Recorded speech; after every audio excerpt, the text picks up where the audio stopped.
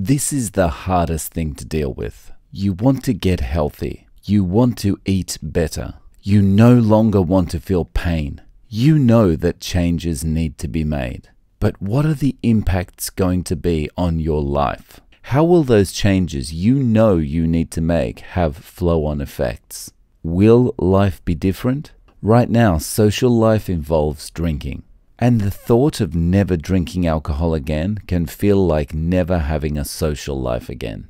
Right now, break time at work means eating a snack and chatting with your co-workers. And the thought of watching your co-workers devour muffins and donuts while you sit there sipping water is too much to bear. Right now, a night out with family is going to a nice restaurant, enjoying their company, and eating rich tasting food. And the thought of not enjoying that atmosphere with your family anymore has you depressed. I've been doing the carnivore diet for seven months now.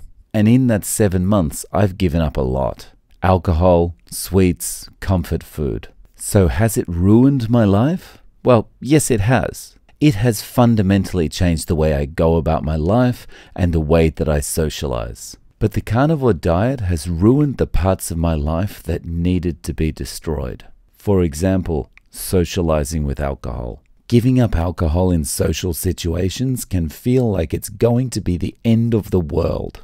Alcohol is what helps you connect with people. At least it was in my case. It also helps remove any natural shyness and gives you a boost. Kind of like a social elixir.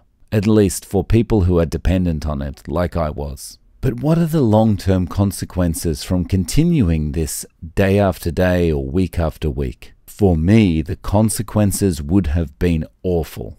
The same as the comfort foods like the cakes, the cookies, the muffins, and the donuts.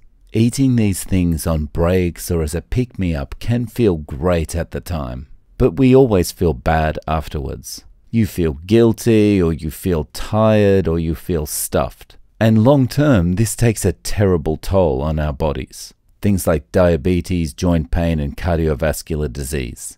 And if you haven't started the carnivore diet or the keto diet or whatever you're planning to do, and you are worried about your life being ruined, stop worrying.